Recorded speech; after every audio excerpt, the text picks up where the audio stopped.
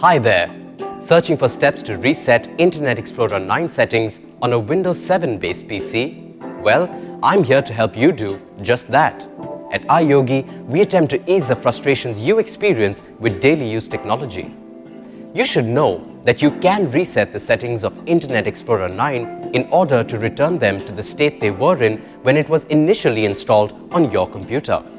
Take note, resetting Internet Explorer is an irreversible process and after the reset, all previous settings are lost and cannot be recovered.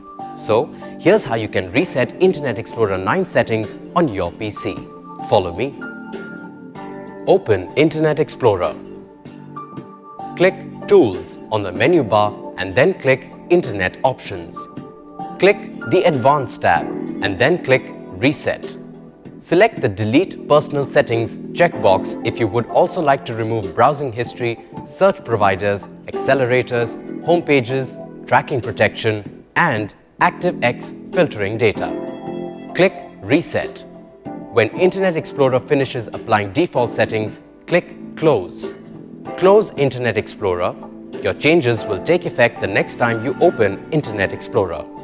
So, you see, by using the steps shown in this video, you can reset Internet Explorer 9 settings on your Windows 7 based PC without any hassles. Don't you just love technology? At iYogi, we're always here to help you get more out of your PC, along with its related software and programs. If you have questions on antivirus, security, protection, or on how to work your other devices with your PC, such as syncing your printer, MP3 player, camera or router, etc., just give us a call. We'd be delighted to help.